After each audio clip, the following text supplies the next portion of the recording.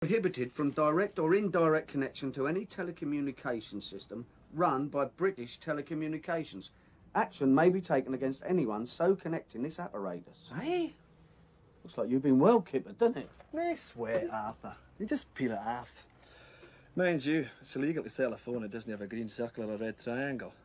What are you saying? Do you understand English? Oh, he calls that English. I'll put it in simple words, Arthur.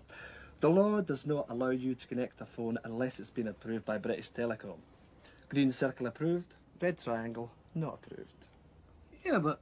No, no. I mean, your punter's not going to know that, is he? Of course he is. It's Granger. He's a villain. Well, in that case, he ain't going to care, is he? No, but he'll use that knowledge to beat the price down. Looks like you've got a problem, doesn't it? No bother. Follow me, big boys.